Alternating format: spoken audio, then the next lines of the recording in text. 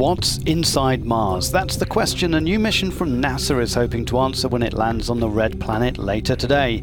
InSight aims to find out how warm and geologically active Mars really is. So while other Mars probes look for water or signs of life, this one is quite different.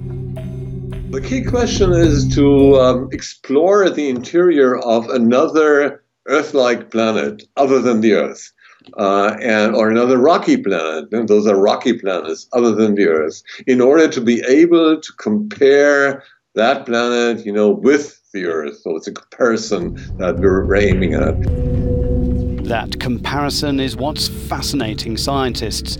Researcher Lu Pan from the University of Lyon says we really don't know much about what's beneath the surface. We do have some guesses from our understanding of the Earth's interior. We think Mars, as a terrestrial planet, is formed uh, more or less the same way as the Earth. So we think it has a core, a mantle, and a crust. And from um, we know that Earth's outer liquid core is the reason we have a magnetic field. And because we don't observe this magnetic field on Mars, we think probably it doesn't have a liquid outer core. InSight should land on a sandy area of Mars where the German instrument on board will take readings on heat flux down up to 5 meters below the surface.